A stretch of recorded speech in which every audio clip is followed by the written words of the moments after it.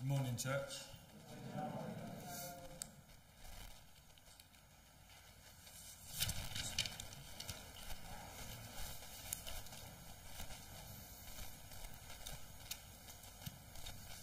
So now I used to. Um, can everyone hear me all right? It's good. I used to listen to a lot of. Um, I've heard, heard the music, drum and bass music. I can't stand it now, but um, as they were, there's a thing called D, you know when the DJs mix, they used to have the two decks, the records. I don't know how you do it, but you you blend in one tune from another, and in between, um, one of the MCs used to go, "Get ready for the next one coming in." Get ready for the next one coming in, and like, and it's a bit like what this is. John the Baptist, as we'll see, who's Jesus' cousin. Um, actually, this the, the prophecy that Fumi read really well um, was from Isaiah saying, um, There's going to be someone saying, um, Get ready for the next one coming in. In other words, prepare the way for the one coming behind me. God's coming to do something amazing. And as we're thinking about um, Christmas time like, um, and God, God's glory being revealed, it's all centered around Jesus. This prophecy of Isaiah is fully fulfilled in um, John the Baptist and Jesus Christ. And that's what John the Baptist come to do, to say, get ready for the next one coming in. Jesus is coming to do something amazing. And it's a word of great, uh, great encouragement and great comfort, especially in this time. Um, well, yeah, so especially as we're thinking about um, Christmas time. So uh, let's go into it anyway. But the reading was Isaiah 40. Oh, the card that Mary gave me. Mary, yeah.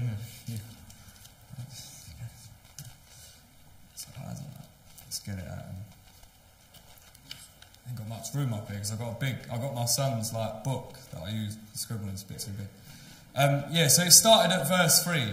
But if I read it from verse 1, it says this Isaiah chapter 40, verses 1, 1 to 5. Comfort, comfort my people, says your God. Speak tenderly to Jerusalem and proclaim to her that her hard service has been completed, that her sin has been paid for, that she has received from the Lord's hand double for all her sins. Funny, isn't it?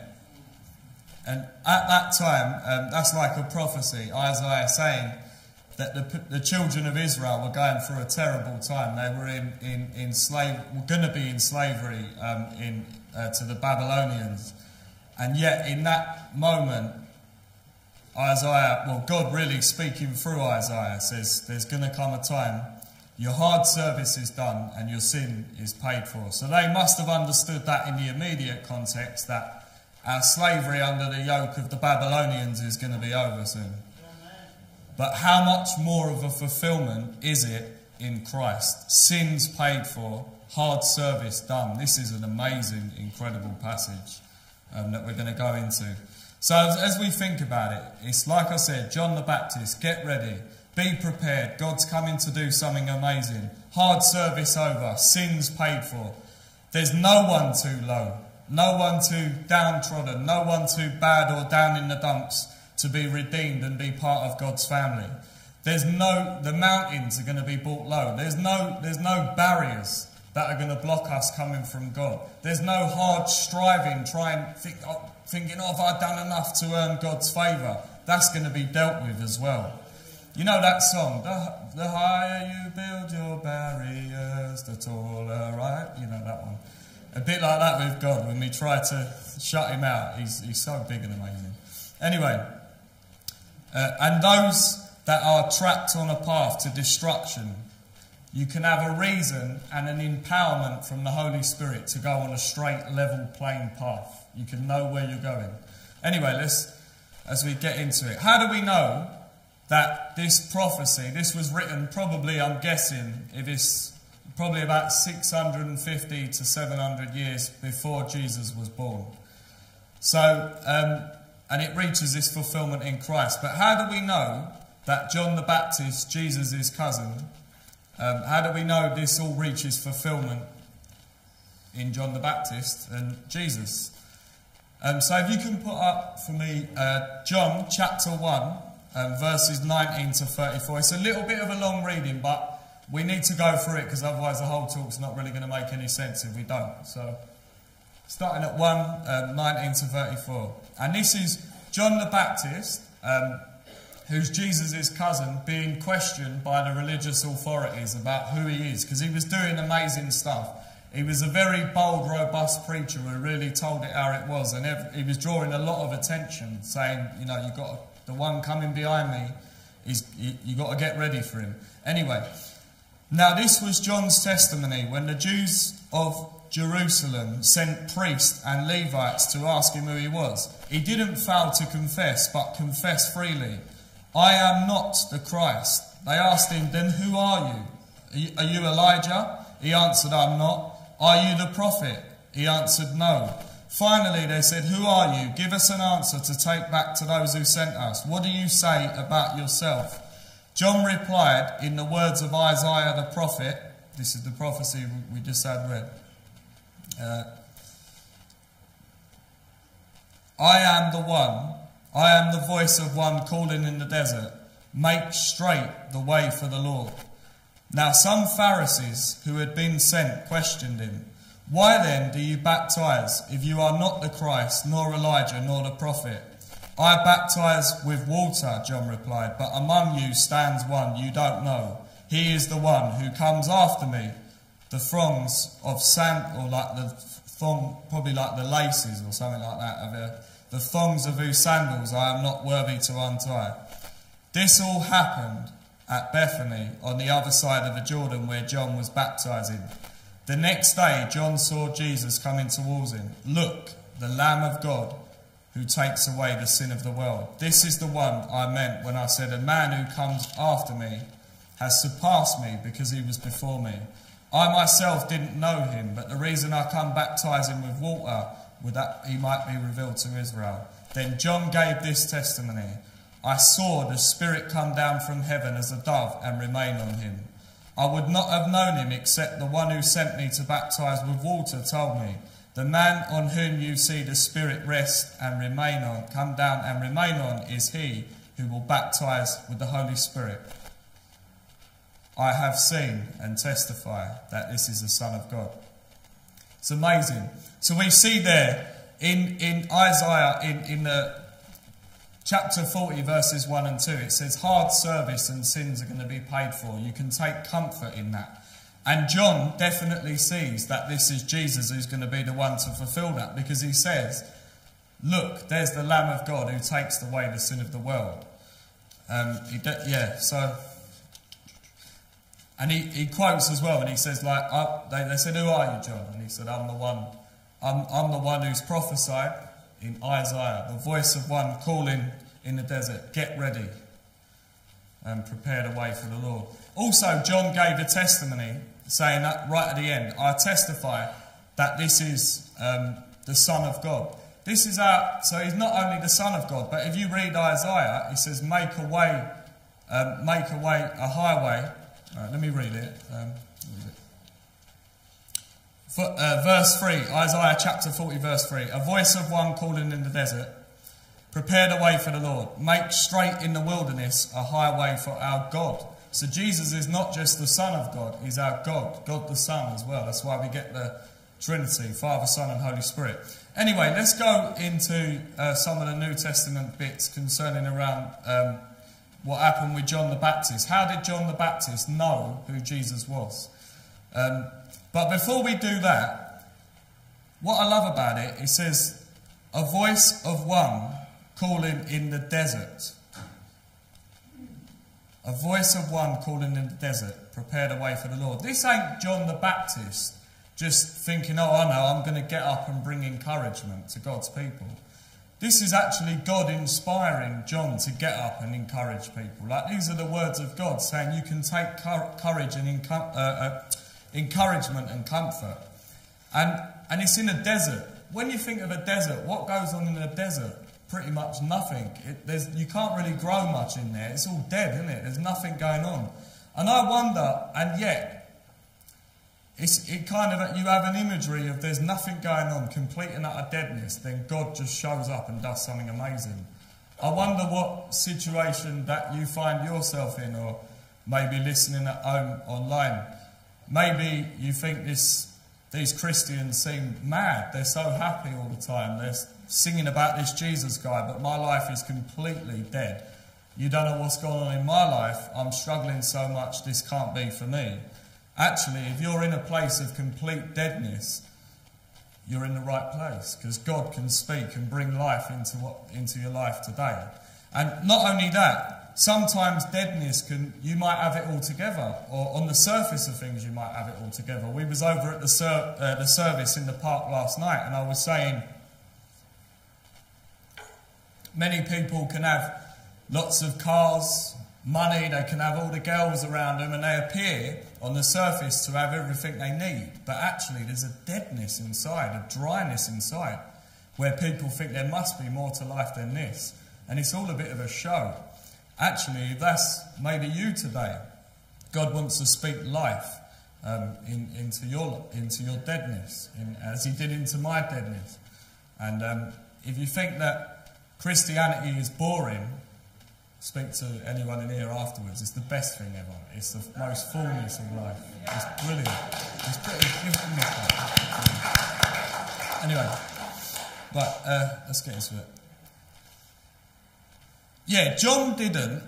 John didn't just decide. Um, he didn't just read the Bible in Isaiah because he probably would have had access to it. Well, he would have because he quoted it. John didn't just say, "Oh, you know what?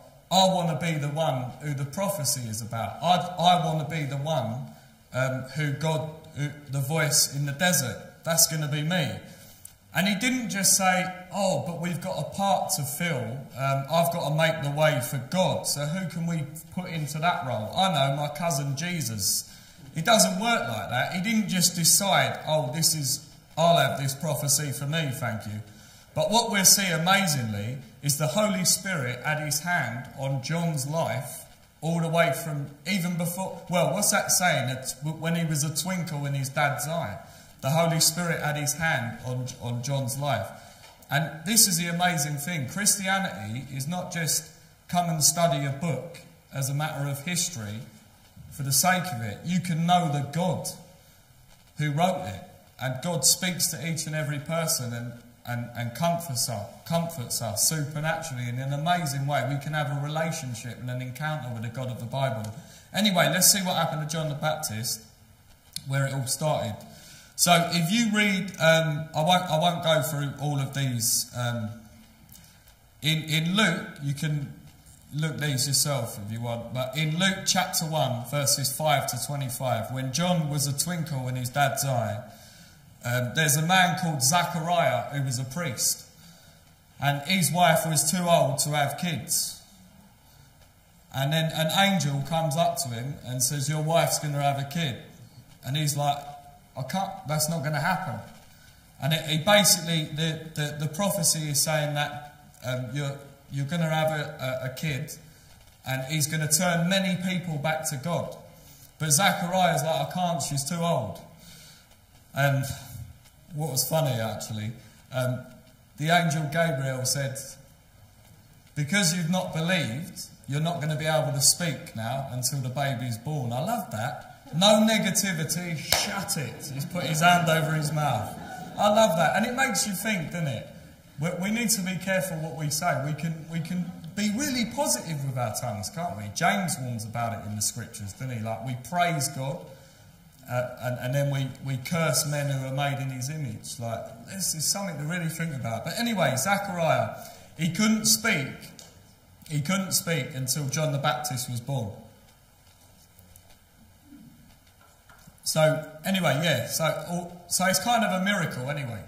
Like um, the, the the Holy Spirit had His hand on John's life from like a twinkle in his dad's eye. Um, not only that, in Luke chapter one, verse forty-one, for for all of those in here who have had um, had babies, you know, when women, you know, when you're pregnant, sometimes you see the belly, like the baby kicking around and stuff like that. Does you know what? Yeah. Anyway, so you've got baby Jesus was in the belly of Mary, and you've got John the Baptist in the belly of his mum, Elizabeth. And as Mary meets Elizabeth, the Bible says that John the Baptist inside the belly leapt in the womb. Something was going on there. Like, in other words, at the age of, I don't know, minus, I don't know how, how, young he was, maybe, I don't know, he was not even born anyway. He's in the womb.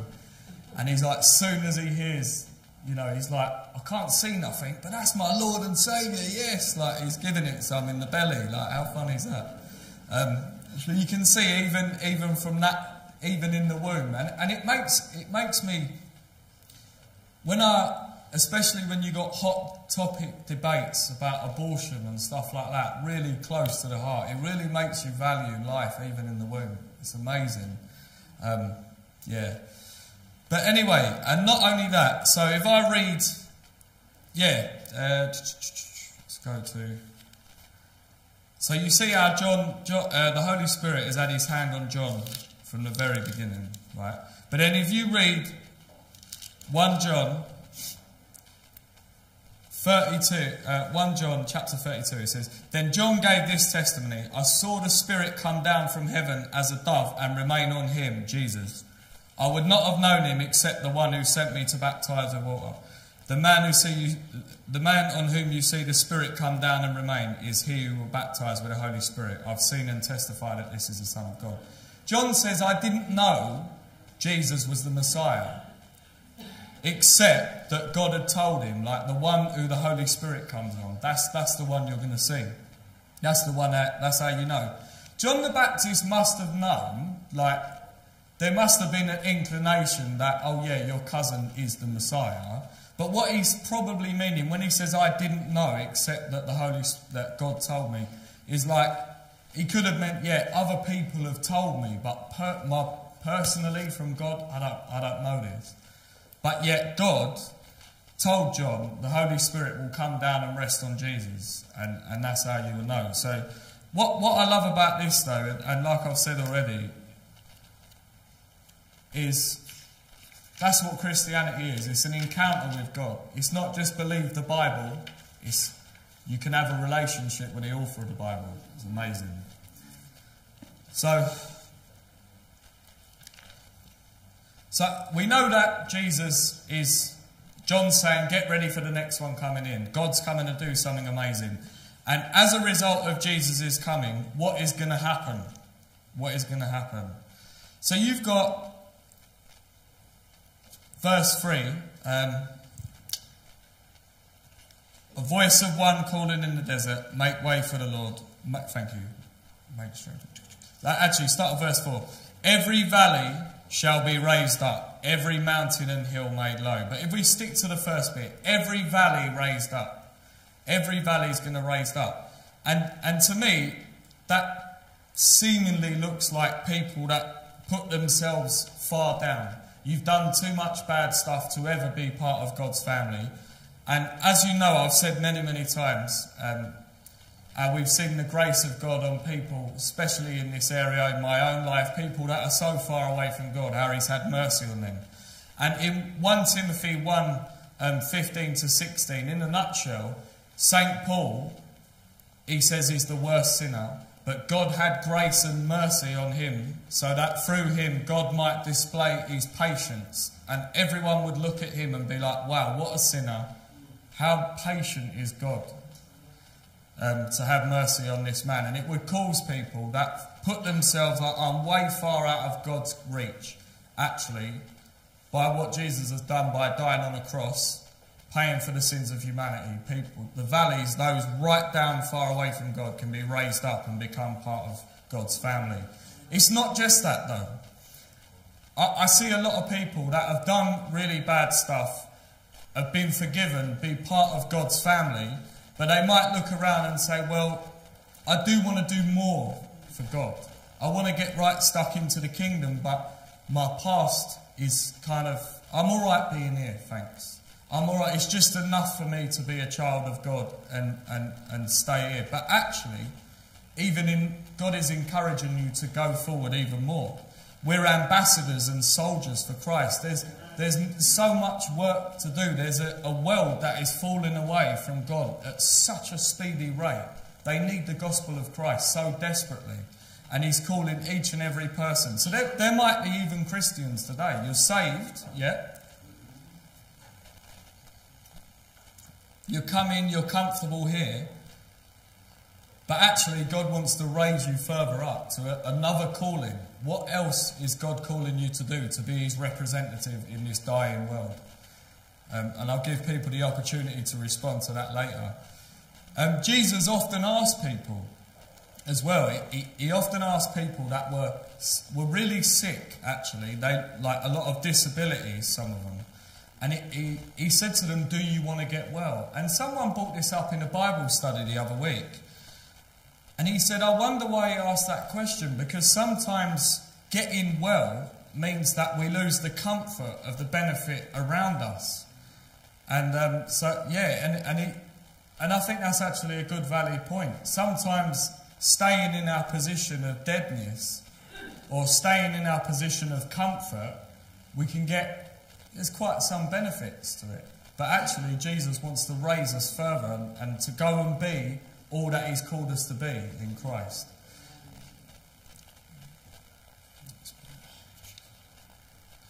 So that's how He ministers how else can God raise you up uh, if you're in, in a valley of discomfort? Um, if you're sick, sometimes God can heal you. I know um, Roger Dyson had a real big cancer scare.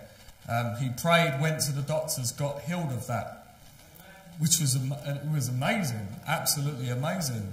But what about when you pray and he doesn't answer it? What about how does God help you if you're in the valley of suffering grief from unanswered prayer? What happens then? And we've seen it in this church time and time again. We've prayed so much for loved ones who are dying, and God didn't answer the prayer in the way that we hoped He would, and they passed away. Wow. How does God help? How does God raise that valley up? How can we find comfort? What is Jesus going to do to bring hope and comfort in that time? Because at times, Jesus seemingly looks like he doesn't know what he's doing. But when you look at everything he do, uh, everything he's done in his fullness, he does know what he's doing. Anyway, we'll go through some of this. Anyway, what happens with unanswered prayer? When you pray for loved ones and they're sick and they don't get healed, how's he going to bring comfort there? Is there something wrong? Are we doing something wrong? Why is he not answering? Anyway, I just want to read with you really, really quickly 2 Timothy chapter 4, verse 20. And it's Paul, you know, you know, St. Paul is like a proper man of God. If there was someone sick in this church, you can bet your bottom dollar he'd be praying for their supernatural healing. He definitely didn't think that the gifts of the Holy Spirit had ceased. He was, a, you know, proper. But listen to this. In 2 Timothy chapter 4, verse 20, he says, I let, this is a bit of a name, so you'll have to bear with me on this. Trophimus, that's it. I left Trophimus sick in Miletus. So, in other words, there's a guy that Paul, who has seen and done amazing miracles for God, he's got this guy who's sick and he wants him to be healed. And he's like, Please, God, heal him. I want him to come on this mission with me. And he doesn't. Doesn't heal him. And Paul's like, I don't know what to do. I better leave him here sick. He can't come with us. But Paul didn't lose his encouragement. Paul was fully encouraged because Paul knows that Jesus often looks like he doesn't know what he's doing, but he absolutely does. And how does Paul know that? Well, for a starters, Jesus died on a cross himself. How much more can you look like you've lost the plot and you don't know what you're doing if you're going through death yourself? number one. But Jesus was like so misunderstood in so many ways. In, in John 11, I haven't got time to read it. Lazarus is a man who's dying. People come up to him. Jesus, Lazarus is going to die. You've got to go and sort him out. You don't get there now, he's going to die. Jesus stays where he was another two days. Like, what is that about? And then Lazarus dies. And then they show up, he shows up, and they're like, Jesus, if you would have been here, like it makes no sense until Jesus shows up four days late. Lazarus has already been dead four days. What on earth are you doing, Jesus? But what was amazing, there was a Jewish myth that a lot of Jews believed. Not necessarily they could get this from the Bible, but there was a Jewish myth that they believed that after three days the soul had left the body. So that, that's it, there's no chance of resurrection whatsoever. And this is four days late. You can imagine the Jews laughing in their mind. Oh, this man thinks he's the Messiah. He doesn't even know the basic understanding that the soul's gone. What a wally, he's turned up a day late. Jesus turned up there on purpose to say, Please don't put me in a box. I'm the Lord of time. I know exactly what I'm doing. Don't tell me I'm off or on time.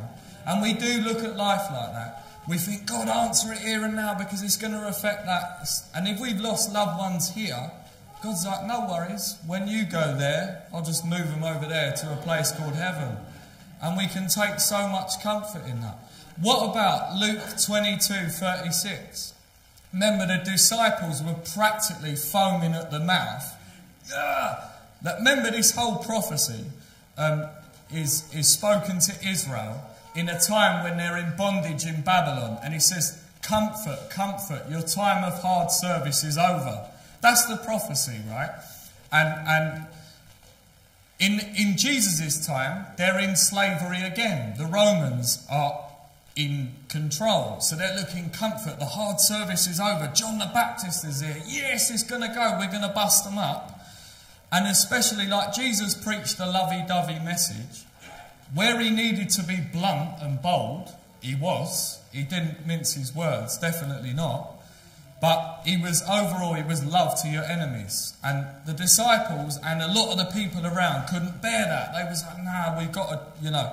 Maybe they thought Jesus was secretly, at the last minute, just going to say, right, now's the time to get the swords out. And you can imagine him over the table when he said, whoever, uh, he said, if you, if you haven't got a sword, sell your coat and buy one. They must have been like, right, this is it. I knew that I knew this the truth was going to come out, Jesus. And so what happens when Jesus gets arrested? They grab they grab hold of him. Peter's like, well, he ain't said the word yet, but this has got to be the time. Whack, takes the arrow off. Jesus said, put your sword away. You live by the sword, you die by the sword. In other words, Peter, like, I'm not you can't spread Christianity by violence. And if you do, you will die under the government. They'll put you to death for that. That's not my way. And in fact, when you think about it, Jesus said, Sell your, uh, sell your cloak and buy a sword, because it is written, he will be numbered among the transgressors. Why did he tell him to take the sword? He knew he was going to chop his ear off. Why did he do it? I think because he's showing I'm fulfilling this prophecy. I'm paying for your sins. I'm innocent, Lamb of God, who's going to die in your place. So if anyone says in the future, oh, Jesus was dying for his own, oh, uh, he was a, a violent person, actually, you can point to this and say, no, he wasn't. So Jesus, I believe, purposely told him to take the sword, knew what was going to happen, said, stop. So it would be evident that Jesus was the Lamb of God who takes away the sin of the world in, in Matthew 27 46 to 49. On the cross, Jesus said, Eli, or it sounds like this on the telly, Lahi, Lahi, Labat Salafanai, or something like that. I've butchered, I've butchered it, but it's on Passion of the Christ, so I just. Uh, but it, when he said, he was on the cross, he said, My God, my God, why have you forsaken me? In, in the words that probably Aramaic, um, it sounds like he was calling Elijah even on the cross. He told them, I'm going to die three days later, I'm going to rise from the dead. Even on the cross, they um, still was probably thinking, oh, he's going to kick off. They said, look, quick, hold on. Give him, give him some water, give him a sponge. Let's see if Elijah's going to come and take him down. They still had in their mind, even the poor Jesus hanging on the cross in agony. Oh, Elijah's going to rip him down and we're going to hit him with the nails. And it was just, they still misunderstood him. And no, Elijah didn't come and take him down from the cross. He died, gave up his breath. But amazing stuff happened. The temple in the curtain that separated us from the relationship with God was ripped in half. Amazing. Amazing. Nearly done. Nearly done. So that's um, our, our, our God raises you up in, in the valley of despair, unanswered prayer, sin, He can raise you up.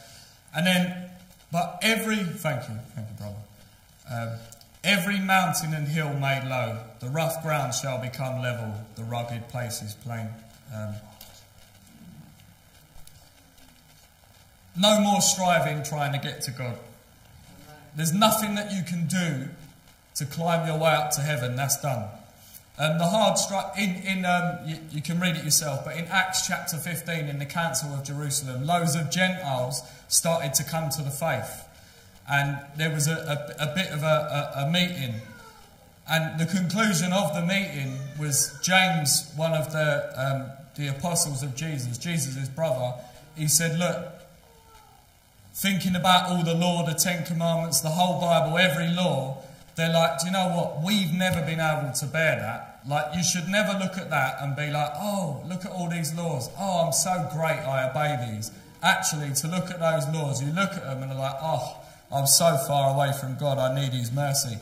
Yeah, and, it, when the Gentiles, the non-Jews, are coming to faith, he's like, James is like, it's in my my I advise we don't put all these laws on the Gentiles. We haven't been able to bear it. It's a hard slog. And, and the reason, and, and all they did, they said that the, the, the four things for the Gentiles, non Jews, to do was don't eat food offered to idols, like sacrifice to demons or whatever, like around demon worship. Um, don't eat meat that is from strangled animals or like with blood in it, like meaning don't kill it alive and stay away from sexual immorality. Like those four things are, are binding on the Gentile um, believers, right? And the reason they did that is because they're just like, you know, Jesus died in our place. He's the one who done the hard service of obeying every single commandment. He fulfilled it and he gives us, his, he attributes his goodness um, and mercy. We're judged on what Christ has done. The hard service is over. No more mountain climbing to try and get right with God. God helps us to get right with Himself, which is amazing. Um, and it's always been like that. Abraham, Moses, Samson, in Hebrews chapter, I think it's Hebrews chapter 11, in the hall of faith, where all the people of, of real faith were, um, they're, they're boosted up, saying, oh, these men did great things for God, blah, blah, blah. All of them has fallen in, in many ways. Um, Jephthah is one who, who is mentioned. Samson is mentioned, is, is in the Hall of Faith. He says about his life, he was getting on with God's business, and then one day he says he went into a prostitute and went with a prostitute. Can you imagine that today? It's just randomly in the Bible. Oh, you know, Samson's going around doing the Lord's work. Oh, I'm just going to jump into a prostitute. Like, it's not that God God likes this or God is for this, but it simply shows you that they're broken men who, who need salvation. Abraham lied, got his wife to lie and say, Oh, you're not really my wife. Just go and have sex with that man so he won't kill me. I love Abraham. He's a man of faith and he's a man that we really need to look to, but he had flaws. As did Jephthah. Jephthah is another man who, in a war, he was filled with the Spirit, done great, amazing stuff in this war. And he said, I know what I'll do. If I win this war, I'm going to burn my daughter alive to offer my daughter as a sacrifice to, to, to God. Wow. And these are men uh, in the hall of faith. The, the, the, the mighty men of faith who had great faith, who are our examples, they, they realise their brokenness.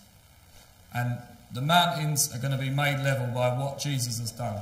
We can't get to them. We all need grace. Anyway. And the rough and rugged places, the rough ground shall become level, the rugged places plain, and the glory of the Lord will be revealed, and all mankind will see it, for the mouth of the Lord has spoken. So, you might be someone who's on a rough and rugged path today. You might be purposely on a path of destruction. You don't need to be. I was on a path of destruction because I didn't believe in God. Jesus can encounter you with the Holy Spirit today and put you on the right path. You have a reason to go straight because of what Jesus Christ has done. You are loved. And if you're, some of us might be on a path to destruction because we just can't, we can't help it. Sometimes we make the wrong choices because we're gratifying the desires of the flesh. We might be hanging around with the wrong people, getting involved with, you know, like relationships in and out with this woman and that woman, in and out all the time, or vice versa. Because we can't, we just simply can't help it. Because, like I said, we're gratifying the desires of the flesh. We know we're on a path to destruction, and who's been there time and time again? We do things over and over again that are harmful to us, but they, they satisfy us. So we're just on that path of destruction. The good news is the Holy Spirit can encounter you today and empower you to get off of that, that path, that lifestyle. And you can today be on a plain, straight path towards God.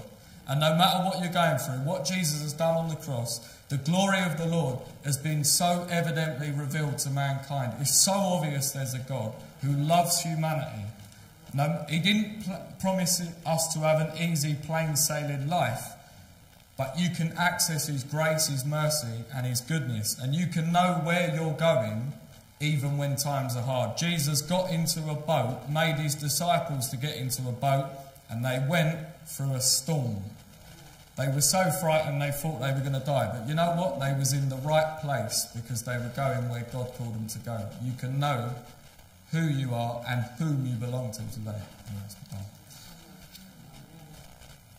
So at the end of the service, I really want to encourage each and every one of you today, thinking about that.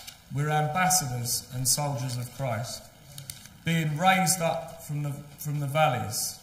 What is God calling you to?